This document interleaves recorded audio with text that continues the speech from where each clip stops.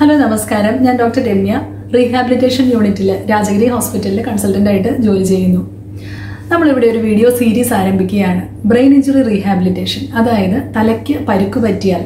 നമ്മൾ എന്തെല്ലാം ചെയ്യണം എന്നുള്ളതിനെ കുറിച്ച് ഡിസ്കസ് ചെയ്യുന്ന ഒരു വീഡിയോ സീരീസ് ആണിത്. ചുറ്റിലും തലയ്ക്ക് പരിക്ക് പറ്റുന്ന പല കേസുകളും നമ്മൾ കണ്ടിട്ടുണ്ട്. ഉയരത്തിൽ നിന്ന് വീണതാവാം റോഡ് ട്രാഫിക് ആക്സിഡന്റ് ആവാം തലയിലേക്ക് ഖനമുള്ളൊരു വസ്തു വന്ന് വീണതാകാം അല്ലെങ്കിൽ അസോൾട്ട് അതായത് തമ്മിൽ തല്ലുണ്ടാകുമ്പോൾ തലയ്ക്ക് പരിക്ക് സംഭവിക്കുന്നതാവാം. എന്ത് തന്നെ ആയാലും മൈൽഡ് ആയിട്ടുള്ള അല്ലെങ്കിൽ മോഡറേറ്റ് ആയിട്ടുള്ള അല്ലെങ്കിൽ വളരെ സിവിയർ ആയിട്ടുള്ള ബ്രെയിൻ ഇഞ്ചുറികൾ നമ്മൾ പല കേസുകളും ചുറ്റും കേൾക്കുകയും കാണുകയും ഒക്കെ ചെയ്തിട്ടുണ്ട്. ഇതിനെക്കുറിച്ച് ഒന്ന് ഡിസ്കസ് ചെയ്യുന്ന ഒരു വീഡിയോ സീരീസ് ആണിത്.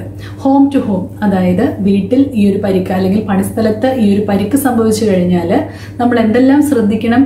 നമ്മൾ ആശുപത്രിയിലേക്ക് എത്തിയാൽ കാഷ്വാലിറ്റിയിൽ എന്തെല്ലാം സംഭവിക്കുന്നു? അവിടെ നിന്ന് ഓപ്പറേഷൻ തിയേറ്ററിലേക്ക് കൊണ്ടുപോയാൽ അവിടെ നമ്മൾ എന്തെല്ലാമാണ് സംഭവിക്കുന്നത്?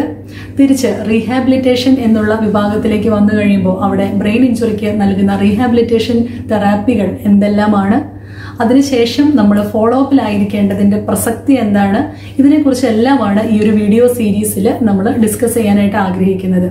അപ്പോൾ ഈ ഒരു വീഡിയോ സീരീസ് നിങ്ങൾക്ക് ഹെൽപ്ഫുൾ ആകും എന്ന് തന്നെ കരുതുന്നു.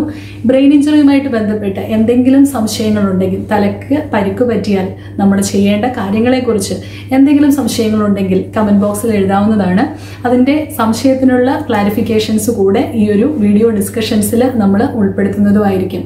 അപ്പോൾ stay safe Take care. Bye.